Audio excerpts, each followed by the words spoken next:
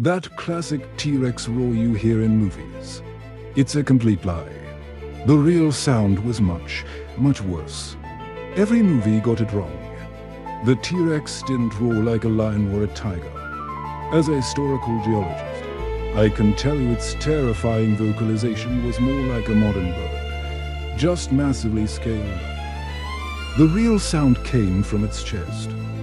Imagine the deep, guttural sound a crocodile or a cassowary mix. This is called infrasound. Infrasound is a low-frequency rumble that travels from Mausen. Critically, doesn't require an open mouth. The terror was silent and inescapable. The sound would have been felt more than heard deep. Visceral vibration that resonated in your chest and belly. The T-Rex was silently communicating. Its dominance across the landscape. They didn't need a movie roar to scale. The most terrifying sound in the Cretaceous was a deep, silent, chest-rattling moment. One minute of history.